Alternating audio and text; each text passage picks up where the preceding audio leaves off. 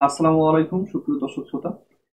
React আলোচনার ধারাবাহিক আলোচনায় আজকে আমরা আলোচনা করব হলো রাউটিং ঠিক আছে? আমি যে জিনিসটা আপনাদেরকে দেখাবো সেটা আপনাদেরকে দেখাই। এটা আমার মেইন ডিজাইন এখানে যখন আমি হোমে ক্লিক করছি, এই হোমের আমার কন্টেন্ট দেখাচ্ছে। অ্যাবাউটে ক্লিক করলে অ্যাবাউটের কন্টেন্ট কন্ট্যাক্টে ক্লিক করলে কন্ট্যাক্টের পেজ টু পোর্টফোলিওতে ক্লিক করলে যেহেতু আমার এখানে কোনো পেজ নাই, সেজন্য নট ফান্ড দেখাচ্ছে এবং ওই যে দেখেন কালারগুলো কি হয়ে যাচ্ছে? সবুজ হয়ে যাচ্ছে, ঠিক আছে? এখানে একটা ব্যাপার হলো যে অ্যাবাউটে আবার আমি এই সেন্ড করতেছি ডাটা অ্যাবাউট ক্লিকে যখন বাটন আছে বাটনের মাধ্যমে ডাটা পার করছি। এই ডাটাতে এখানে ক্লিক করে যে নামটা পাস করে দিছি, নামটা আমি পেজ টুতে পাস করে দিচ্ছি দেখেন আমরা একটা কিন্তু পেজ টুতে আছি। ঠিক আছে? আবার হোমে ক্লিক করলে মেইন পেজ চলে যাচ্ছে। অ্যাবাউটে ক্লিক করলে এই যে ডাটা পাস করে দিছি পেজ টুতে চলে গেল। কন্টাকে ক্লিক করলে ওই পেজেই থাকতেছে, তাই না? আমাদের পেজ টু যেটা, সেই পেজ টু চলে যাচ্ছে। আচ্ছা যে এখানে প্রথমে পেজ টু পেজ টু কন্টাক্টে তারপর যখন আমি এখানে ডাটাটা পাঠিয়ে দিচ্ছি, পাঠিয়ে দেওয়ার পরে ক্লিক করলে আমাদের ওই ডাটাটা সহ দেখাচ্ছে। যাই হোক, এই যাবতীয় কাজগুলো কীভাবে করছে? এখানে কিছু গোলমালও আছে, কারণ এখনও পুরোপুরি সবগুলো ব্যাখ্যা বিশ্লেষণ করা হয়নি তো এই জন্য বিগিনার পর্যায়ে যতটুকু ব্যাখ্যা করা হয়েছে এই জন্য এখানে একটু সামান্য, তবে অনেক জিনিস এখানে শিখতে পারবেন আর কি। তো পুরো প্রচেষ্টা আমি এখন করব না, কারণ আমি যেটা যতদূর পর্যন্ত বিগিনার লেভেল থেকে যেটা শিখতেছি, সেটা পর্যন্ত যেটা দেখলাম যে আমরা যখন স্টেট বা ডিজাইন ডিজাইনে এসটিএমএল কেসরি বুটস্ট্যাপ এগুলো ইউজ করা শিখে যাব, তখন আমাদের মেইন ফোকাস হবে রাউটারের উপরে, ঠিক আছে? রাউটার এরপরে ক্রুড করা, তো রাউটারের অনেক কাহা- কাহিনী আছে রাউটারে ডাটা পাস পার করানো, এক পেজ থেকে আরেক পেজে এক কম্পোনেন্ট থেকে আরেক কম্পোনেন্টে এটা একটা বিশাল ব্যাপার, এগুলো প্রজেক্ট করতে করতে আস্তে আস্তে শেখা যাবে। একবার যদি আমরা শুধু লিখে সাজি রাউটিং অ্যাডভান্স বা রাউটিং ডাটা পাস আসলে সেখানে মানুষ অনেক তাদের প্রজেক্টের মাঝখান থেকে বোঝাবে বা সেভাবে বোঝা আসা সম্ভব না এগুলো প্র্যাকটিস প্রজেক্ট করতে করতে শিখে যাওয়া শিক্ষা শেখা হবে ছোটখাটো হ্যাঁ? যাই হোক কত কথা না বলে আমি এইটা কাজটা আপনাদেরকে বোঝাচ্ছি। দেখেন, আমি প্রথমত এইখানে এই, যেটা দেখতে পাচ্ছেন আপনারা, একটু দেখি, দেখ- দেখা যাচ্ছে কিনা। হ্যাঁ তো এইখানে যেটা দেখতে পাচ্ছেন, আমার পেজ হলো page one page two page three তিনটে পেজ আছে আর একটা অ্যাপ পেজ আছে। আর ইন্ডেক্স ডট পেজে তো আমি ইয়ে করেছি। আগে টিউটোরিয়ালগুলোর মতো এই যে ব্রাউজ রাউটার দিয়ে আমি রাউটার আর নেভিগেশনকে একখানে করেছি। এইখানে কাহিনী হলো আমি রাউটারকে একখানে রেখেছি আর নেভিগেশনকে একখানে রেখেছি, ঠিক আছে? এর আগে আমি রাউটার নেভিগেশন একই পেজে রেখেছিলাম, এবার আমি রাউটার একটা কম্পোনেন্টে নেভিগেশন একটা কম্পোনেন্টে দুইটাকে একখানে করে ইন্ডেক্স ডট এর মধ্যে আমি রেখেছি হলো ব্রাউজ রাউটারের মধ্যে। ঠিক আছে, আপনারা জানেন ব্রাউজ রাউটারের মধ্যে ছাড়া এটা কাজ করবে না। ওকে। তো এই, আর দ্বিতীয় কথা হলো, এখন আমি দেখাই আপনাদেরকে আমি নেভিগেশন এই যে ন্যাব যেটা লিখেছি, সেই ন্যাবের আমার লিঙ্কটি কীভাবে করেছি। এই যে, এইখানে আমি, এই যে, এই ডিজাইনটা করেছি। কীভাবে? আমি ন্যাব লিঙ্ক দিয়েছি এবং ন্যাব লিঙ্ক ইম্পোর্ট করে নিয়েছি, তাই না?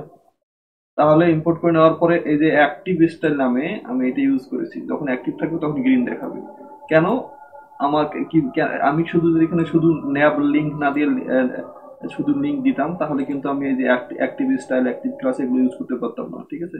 এখানে মনে রাখতে হবে এটা একটা অবজেক্ট থেকে কার্লি ব্রেসেসের মধ্যে রাখতে হবে ডাউট কার্লি ব্রেসেস এখানে টু দিয়ে আমার লিঙ্কটা দিতে হবে যে কোন লিঙ্কে ক্লিক করলে কোথায় যাবে? হোমে ক্লিক করলে কোন, কোথায় যাবে, ঠিক আছে? এটা লিঙ্ক দেওয়া। বাটনে যেমন লিঙ্ক দেওয়া, সেরকম বাটনের লিঙ্কই দিচ্ছি।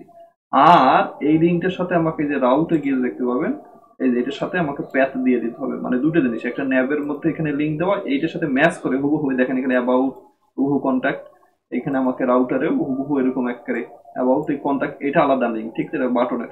এই দেখেন নিচেরটাই কন্ট্যাক্ট পোর্টফোলিও সব হুবহু সেম আর সুইচে যেখানে আমি ইম্পোর্ট করছি রাউটারে কেন সুইচ ইম্পোর্ট করেছি? যাতে করে আমার যে যদি একের এক্সাক্ট প্রথমে যেটা পাবে, সেটা চাই সে সুইচ দিলে প্রথমে যেটা পায়, আর পরে চেক করে না। অনেক সময় দেখা যায় না যে সাব স্ট্রিং চেক করে আমাদের, যে এখানেও স্ল্যাশ আছে, এখানেও স্ল্যাশ আছে, সুতরাং দুইটা কম্পোনেন্টে আমার শো করে। এরকম না, ঠিক আছে? এখানে প্রথমটা পেলে প্রথমটাই শো করবে। এটা আর আমার তো এমনিতে সবগুলোতে এক্সাক্ট লিখেই দিচ্ছি তাহলে এগুলো নিয়ে ঝামেলা হওয়ার কথা নাই।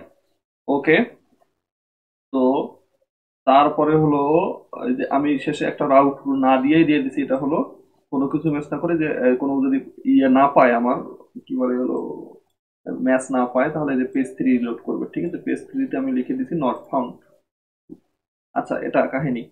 আচ্ছা এখন আরেকটা হলো যে আমি পেজ ওয়ান থেকে পেজ ওয়ান দেখেন আমি এখানে রাউটারে পেজ ওয়ান কোথায় দিয়েছি? অ্যাবাউটে তাই না? অ্যাবাউটে ক্লিক করলে পেজ ওয়ানে যাবে। পেজ ওয়ানে গেলে এই যে আমি এখানে একটা বাটন দিয়েছি। ঠিক আছে? এবং বাটনের মাধ্যমে ডাটা পাঠাচ্ছি। কীভাবে সেটা দেখেন? এই যে আমি এখানে লিঙ্ক দিয়েছি, বাটনের মাঝখানে লিঙ্কটা দিতে হবে। যাতে করে বাটনের লিঙ্ক ক্লিক করলে কোথায় যাবে সেখানে চলে যায়। যে এখানে slash contact contact slash Abid, এই নামটা দিচ্ছি আমি যদি আবিদ না দিতাম, তাহলে কিন্তু স্ল্যাশ কন্ট্যাক্ট দিলে বাটনে ক্লিক করলে আমার এই কন্ট্যাক্ট ক্রাউড যেখানে আছে সেখানে চলে যেত মানে আমরা এবার এক বাটন ক্লিক করলে রিডাইরেক্ট করে অন্য বাটনে যেতে পারতেছি।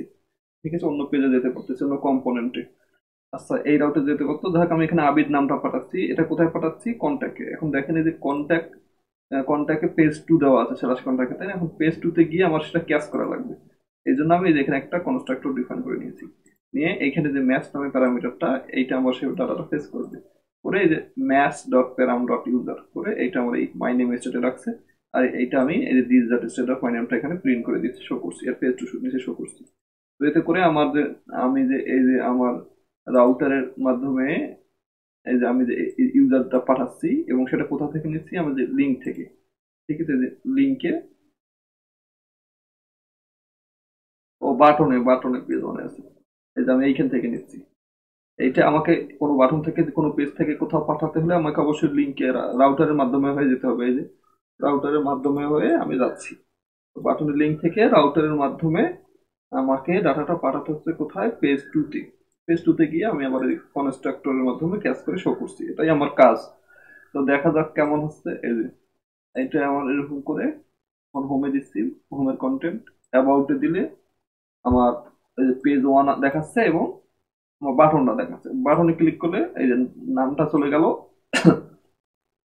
এটা লিঙ্ক ঠিক আছে? এই লিঙ্কটা আবার রাউটার কি ধরে রাউটার ধরে যে ইউজার নামে ডাটাটা পাঠাচ্ছে ইউজার নামে সেটা গিয়ে আবার পেজ টুতে গিয়ে আমি সেটা ক্যাচ করছি কনস্ট্রাক্টর দিয়ে আবার এই যে এটাতে ক্লিক করলে আমার এখানে লিঙ্ক চেঞ্জ হলো, কিন্তু পেজে যেহেতু ভ্যালুগুলো এটা ছিল, সেটা স্টেটের ভ্যালুগুলো ওরকমই থেকে যাচ্ছে। দেন পেজ টুতে লোড হচ্ছিল। এখন পোর্টফোলিওতে ক্লিক করলে প্রতিটি পোর্টফোলিওতে দেখেন আমার কিন্তু পেজ দেওয়া আছে হলো কত? পোর্টফোলিও রাউটারে গেলে দেখা যাবে। পোর্টফোলিও পেজ থ্রি পেজ থ্রিতে গেলে আমার দেখাচ্ছে নট ফর্ম ঠিক আছে? এইভাবে করে আমরা রাউটিং এর কাজগুলো করতে পারি। খুবই সহজ, একেবারে কঠিন না। জাস্ট এক জায়গায় ন্যাব লিঙ্ক এক জায়গায় হলো রাউটার দুটো একসঙ্গে ব্রাউজার রাউটার দিয়ে অ্যাড করে দিতে হবে। ডাটা পাঠাতে গেলে লিঙ্কে স্ল্যাশ দিয়ে আমার যে ডাটা পাঠাবো সেটা দিতে হবে। স্ল্যাশ একটা কলম দিয়ে ইউজার বা যে ডাটার নাম যেটা দিব সেটা চলে যাবে। আর আবার রাউটারে ওইটা দিতে হবে।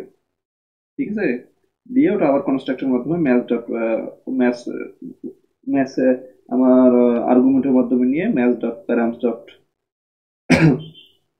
user name যে নাম হুবহু থাকবে সেই নামের মতো আর কি। এই যে আমার পেজ টুতে দেখেন, এই যে match dot params dot user name user আর কি। আমার ইউজার ছিল। এখানে যে রাউটার এগুলো দেখতে পাবেন ইউজার ছিল। এই যে ইউজার ঠিক আছে এই কারণে এখানে এটার সাথে হুবহু যেটা ডাটা পাঠাবো, সেটা তো অবশ্যই ওইটাই ক্যাচ করা লাগবে, তাই না পেজ টুতে? যাই হোক, এগুলো আসলে প্র্যাকটিস করতে করতে অ্যাডভান্স পর্যায়ে যখন আমি আরও চলে যাব, তখন আরও ভালো কিছু আপনাদের সময় নিয়ে আসার চেষ্টা করব। সে পর্যন্ত বিদায়, আসসালামু আলাইকুম।